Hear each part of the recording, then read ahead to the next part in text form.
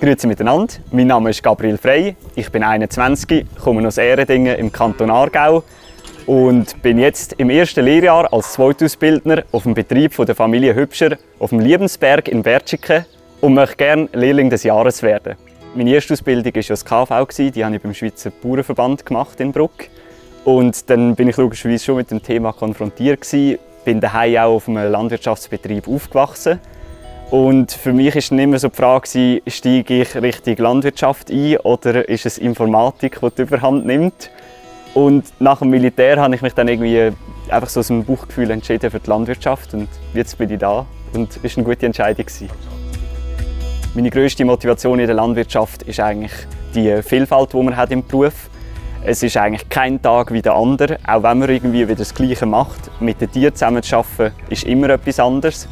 Und die machen ja auch ein bisschen, was, was sie wollen. Und dann muss man da ein bisschen schauen, dass sie trotzdem noch das machen, was man am Schluss selber erreichen will. Und auch mit den Maschinen, oder? Es ist das eine Mal funktioniert vielleicht etwas nicht, dann ist das Wetter noch ein Faktor. Ich denke, so ein vielseitiger und herausfordernder Job wie die Landwirtschaft ist schwierig zu finden.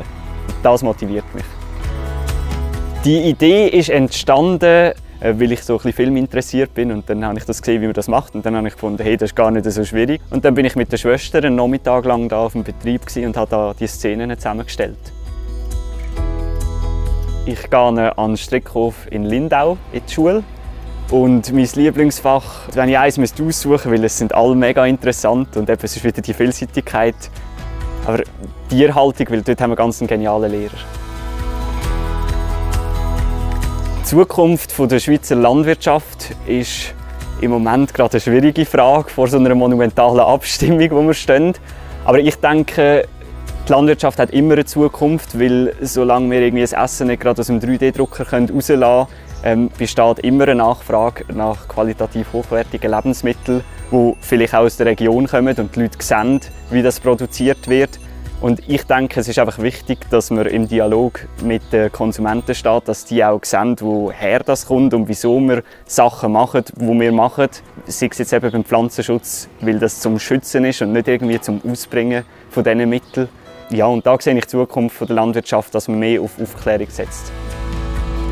Ähm, es steht so eben das HAFL, also Fachhochschule Agronomie ähm, steht zur Diskussion oder eben dann doch eher eine Weiterbildung Richtung Informatik, weil auch die ganze Digitalisierung interessiert mich extrem und da muss ich mich noch ein bisschen entscheiden. Das ist Notina, das ist meine absolute Lieblingskuh. Ähm, sie wird jetzt dann vier und bekommt das dritte Kalb im Mai. Und ja, auf die Leistungsdaten müssen wir da nicht im Detail eingehen. Es ist keine Hochleistungskuh, aber vom Charakter her ganz eine gute. Und es ist eigentlich so ein bisschen Liebe auf den ersten Blick, gewesen, wo wir uns gesehen haben.